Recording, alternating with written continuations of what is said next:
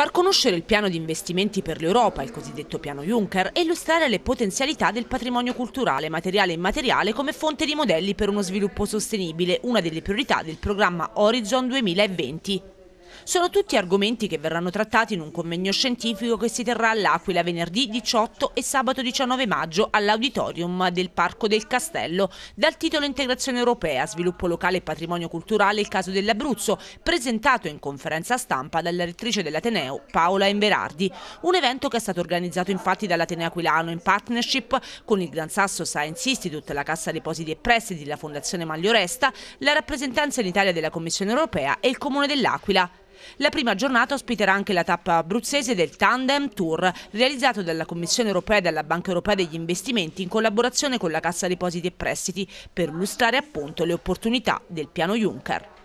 Un'opportunità, secondo la rettrice, anche per vedere i casi locali. Sarà proprio un'occasione nella quale cercheremo di fare, eh, dare un contributo un pochino più concreto, cioè mettere in evidenza le cose che stiamo facendo, finanziate sotto varie forme o in attesa di finanziamenti, con le opportunità concrete che ci possono venire dalla Comunità Economica Europea e il piano Juncker.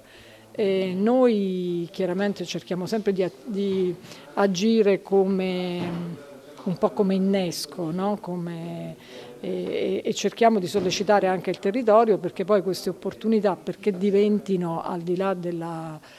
possibilità di prendere un no dei finanziamenti perché poi si traducano in eh, condizioni strutturali che effettivamente corrispondono a un miglioramento della qualità della vita, del lavoro, delle opportunità di lavoro sul territorio, eh, necessitano del,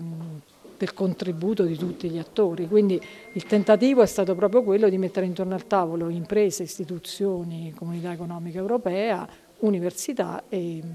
dare qualche, ehm, cercare di portare avanti un pochino di più i ragionamenti e dare la prospettiva un po' più concreta di creare opportunità.